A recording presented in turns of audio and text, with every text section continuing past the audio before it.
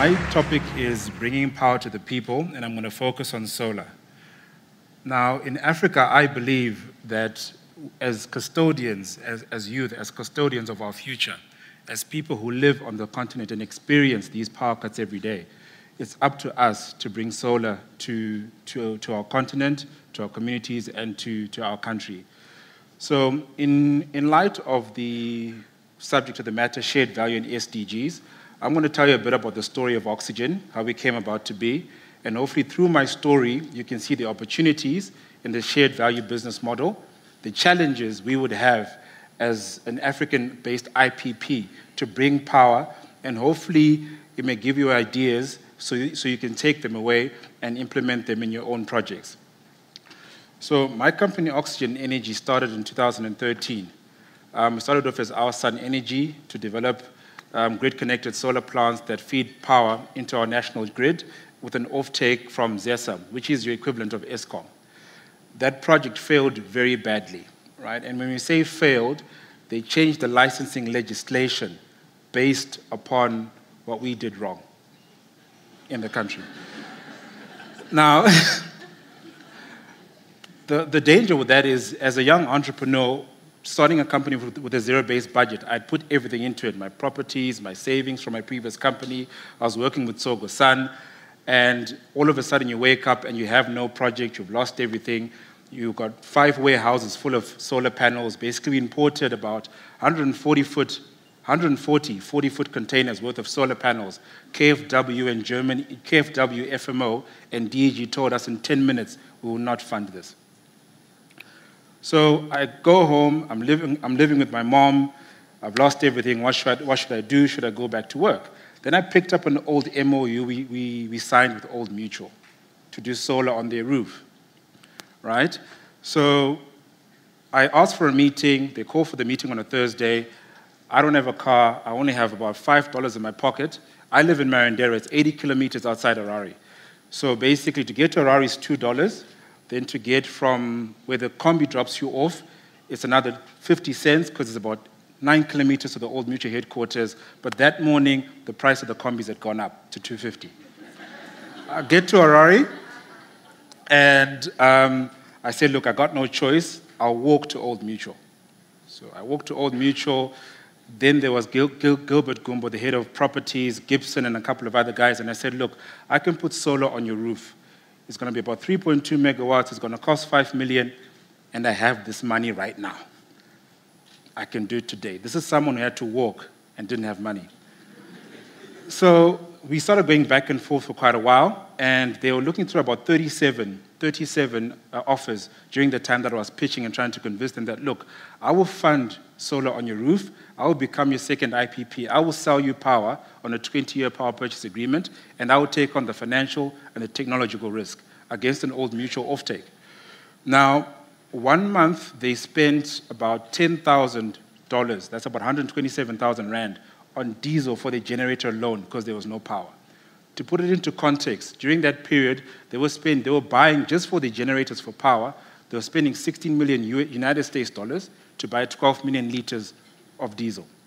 So I get a call, Simba, where are you? You said you have the panels, can you do this particular project? Then I had to be honest, look guys, I lost the panels, and, but I can find the money. so they gave me a letter, and Old Mutual is very good at writing letters that are committal but non-committal, and said, look, you go find the money. So I then turned to my friend Lionel, Lionel buys me um, a plane ticket to come to, to pitch to ABSA. I got a meeting with ABSA Capital, and I only had a plane ticket and, and a train card and no money. My friend Nyasha had to give me $10 to print my business cards. So I come to ABSA, I pitch my project, but project financing is a lengthy and expensive process. That if you're not well heeled like a developer, there's no way that you're going to achieve it. Anyway, ABSA said they'll help me out, and when, they said, when we said ABSA will help me out, the company profile we still use today was drafted by ABSA. We just removed the logo. So they structured my project, told me how to finance it. Standard Bank also stepped in and said, look, but the problem is we cannot finance $5 million. It has to be a minimum of 10 million each. So your project has to be ideally 20 megawatts, right? So I then reached out to um, a lawyer that had done due diligence for me before called Stephen Gamble with Norton Rose, and he said, look, we can walk into these offices and we can present your idea based upon how ABSA and Standard Bank have structured it and see if you'll get financial commitments. So we got term sheets worth $30 million. Then went back to Old Mutual and said, look, I can't do the project, but I've got a problem. I have to come up with 20 megawatts, and this is my proof of funding. Right? I said, okay, sure. Um, let's, let's, let's start to have a discussion about you doing the entire property portfolio. So that was initially the genesis of how, um, together with developing a 20 megawatt project, is going to cover 216 buildings, and the power is going to be purchased for Old Mutual on behalf of their tenants that are largely SMEs. You've got a couple of corporates in there, like your Pick and Pays, your Deloittes, but largely it's SMEs. And so when we, so Old Mutual signs on, now we've got a problem because for me to draw down on that, on that, on that debt, I need to find about $6 million in equity, which I didn't have. So Old Mutual said, no, not a problem. We will fund you part of your equity, and we'll take 26% of your company. We don't want to manage it. We don't want any, any, any control, but this should help you leverage and find the balance of the equity. So with that, we started reaching out to various developmental partners in that particular process. Now, because of that, we then went to, oddly enough, to UNDP and said, look, Old Mutual, now Old Mutual in Zimbabwe has a, has a history of taking leadership on national issues. So how they viewed it was, we're solving a national issue of, problem, of power in line with what we'd called Zim Asset, which was the government's social, economic, sustainable agenda. So we're going to take off 20 megawatts off the national grid, and hopefully we save the country because their target was 300 megawatts by 2018. We've got a young entrepreneur that we're going to empower, and then he's going to basically um, develop into, own, into a homegrown IPP and scale up his project. Right? So we went to UNDP and said, look, we're passionate about SDGs. Can we work with you? Can you help us get, can you help us find ways so that we can leverage on the SDGs to, to basically raise our funding? To our surprise, UNDP said no. We don't work with private sector. So we, we then went to our Ministry of Environment and they said, look, what you guys are doing is good. They gave us an endorsement to say, look, as Old Mutual and, and Oxygen, you guys are, are driving clean energy, decent, um, um, decent work, economic growth, climate action, and they gave us the UN endorsement. And using that, we then, I then started to apply for a grant. Now, the reason why is most most well-heeled developers, when they come into Africa, they have a lot of concessionary funding, grant funding, etc., to basically do R&D, to do their projects. Where would I get it from? So I started a process with Africa Development Bank that took 16 months. And one of the processes was that they have to do due diligence on the project. They have to meet with the old mutual stakeholders, etc., etc. So we had applied for 600,000 in this regard. AFDB guys come, and the first meeting they had to say, before we even talk to Old Mutual, we have to talk to ZESA which is the equivalent of Eskom, because we need to know if they are willing to allow you to take one of their customers off their, their books and supply energy directly. We walk in, we were applying for 600,000, but to our surprise, ZESA then did the pitch for the grant for us, and it was increased to 1.2 million, which we eventually got. But then there was a problem because we're a startup, we cannot manage the grant as per, you know, the DFIs, they've got very stringent requirements. So ZESA, the equivalent of Eskom, actually wrote to AFDB and said, no, we will manage this grant for him. Just give him the money. So now, what, one thing we had to do was we had to innovate in that we needed to make the project bankable. I can't basically take risk on a thousand SMEs, right? So Old Mutual said, look, we will purchase the power from you as a single entity. So basically, you will take Old Mutual risk. And then as Old Mutual Investments, we would invest in your company and take equity risks. So pretty much you're selling power to yourselves. So with that innovation, we used that same model and we approached another bank that Old Mutual owns and we said, look, let's innovate in the finding. You guys require three megawatts worth of power across 74 branches. It's similar to a Nedbank. Why don't you give me the loan? Why? Because I'm putting power on your roof to service you. Unless, of course, you want the example of uh, of, let's say, a Capitec or a ABSA going to put solar on a Nedbank. That's not going to happen. But I sort of used an NMB. We've got a bank called NMB. I sort of used their term sheet to, to, to say to this bank and say, look, guys, I'm going to put solar on your roof over a, with a bank that is smaller than you. Are you going to allow that to happen? So they gave us a, they gave us a term sheet of 3 million, and basically, where the innovation is, they will have to pay Oxygen $600,000 a year in electricity costs. But they will make back, but we will pay them back half a million to service their loan. So from the 3 million that they're using to power their own bank branches, they're going to yield 4 million. They're actually going to make money from the electricity that they use. Right? Now, Old Mutual, being a pension fund manager, most of their tenants are their pension funds are managed by Old Mutual. So we said, okay, why don't you talk to your pension funds and have them, through you, invest into the project. That way, our innovation was your, the off-taker, the client, must also be the co-investor in this power project through us. We will be their Chinese wall. We will take the technological and operational risk, but in essence, you will make money from your own electricity. That's essentially our, our innovation. But in this, you have several challenges as, as a young entrepreneur, right? We want to basically champion SDGs in our continent. We want to be the custodians because the future really belongs to us. But how do, does a company like mine or a company like any other young entrepreneurs probably in the crowd compete with, for argument's sake, with an, with an? The challenge is when you go to a bank, right, you go to Barclays, ABSA, Nedbank, the same credit process that they use to approve oxygen is what they're going to use to prove now. To give you, just to put it in context, our legal costs alone, just for the old mutual project, are half a million dollars in project finance. If there's a banker here, he would tell you that's how expensive project finance is. So, how are African youths going to find just half a million dollars in project finance? And before they start to look at your project seriously, you have to do a technical and bankability feasibility study, of which the bad part is you don't pick, you don't pick who you're going to use. So I can't go to my friend who's a lawyer and say, can you drop the documents for me? I can't go to my friend who's an electrical engineer and say, can you please do the assessments for me? The bank will choose. And they usually choose the most expensive. If it's lawyers, your Hogan Lovells, your Trinities, if it's, if it's, your, it's your Arups.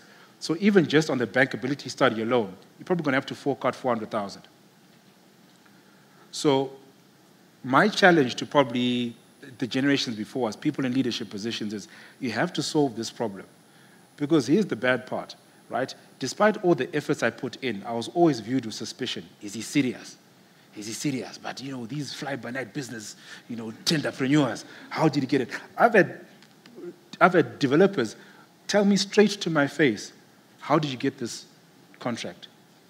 Because basically our contract with Old Mutual is 20 megawatts with the option to scale up to 50. So we will pretty much solarize all their buildings. How did you, with no experience, get this contract?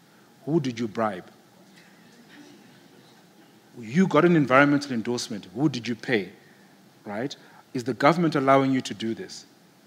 The only time I actually got recognition is when I had to go all the way to Russia and then present my project to Vladimir Putin. And when he said, no, it's a good project, all of a sudden, no, no, this guy's serious.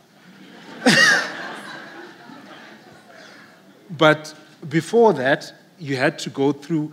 I mean, we operate in an environment where, but let's be quite frank, as much as we talk about startups, Africa is very unfriendly to startups. Look at East Africa. You've got your M-KOPA, Solar Kiosk, Off-Grid Electric, um, uh, Mobisol, BBOXX. They, they've got hundreds of millions of dollars in funding to come and solve a problem of electricity on our continent of solar home systems. So are you telling me that on this whole continent, no one could figure out that you can get a Chinese light and a little controller, plug in your phone, and give someone a loan over two years? Are you telling me that's impossible? No one could have figured that out on this continent. There's something seriously wrong. And it's also a model that's not sustainable. Because what happens? How many of you have ever bought these solar lights? How long does it last? Two years? probably one year, right? So after one year, someone in the rural areas has to buy this thing again. So is this sustainable? but we laud them and say they're, they're helping power Africa. But if a young entrepreneur says, I want to put a five mega solar power plant in my village so that I can bring in your big, your big retailers, your, your, your, your, your agricultural manufacturers, there's resistance. But we know what we need. I have a friend called, called um, William. He went to, he's from Zone 4 Energy, and he went to Googler. And he went with a solar home system that had been turned into a candle stand and said, look, the solar home lights that you're funding hundreds of millions of dollars, this is where they end up. We use them as candle stands because they don't work. So we are being ignored to produce, to, to provide solutions in our own country, and we're providing opportunities to people to come and solve our own problems. So Boniface was right. All the innovations come from outside as if we cannot innovate ourselves. But in 10 years' time, you're going you're gonna ask Simba, why don't you care about SDGs? Why should I care about SDGs? They've done nothing for me. Let's be quite frank. Right? They've done nothing. So that's the question that I, I would pose and challenge to industry leaders, um, big corporates, say they've done nothing. Right? And I'll also take, um, and, and, be, and be truly honest, when we started the project, we wanted to go into rural areas. That was my passion. Put power into rural areas.